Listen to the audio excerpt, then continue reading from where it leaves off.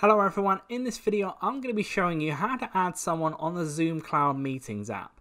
So this is right on the right here, it's on the mobile device, so iPhone, Android, it's going to do the same process throughout for this and it's kind of a similar process on the PC as well. But there's two different types of ways of adding people, whether you want to like add them as like a contact, like one of your friends or work colleagues or whatever, and also adding someone to an actual call to have like a meeting with them, etc. So there's two different types of things. I'm going to show you both in this video. So first of all, we're starting off here at like the home page when you open up the app, the meet and chat part. Uh, you're going to want to first of all look to the bottom of the page where it says contacts. You want to click on there. It might come up saying uh, like your phone number, whatever, but you can just kind of go off that part and come back on again. Then it won't appear there. You don't need to add your phone number to this part here. But once you're here, click on the top right hand corner where the little plus sign is.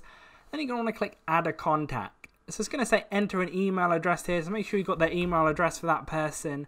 Uh, so this is not their username, it's their email address. So I am typing it in now. I won't be showing the, this person's email address on on screen, but I am typing it in right now.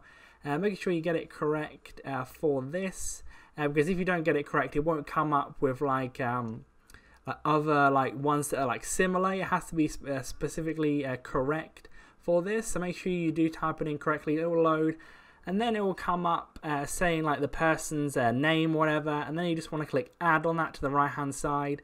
And then it will say contact request has been sent uh, to the person.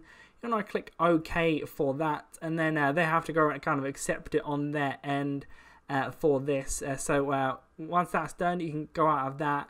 And then for the actual um, uh, meeting part of it. So let's say, for instance, you're starting a new meeting here. I'll just go ahead and start a new meeting. How to add someone into an actual call. So as you can see, I'm connecting to this right here.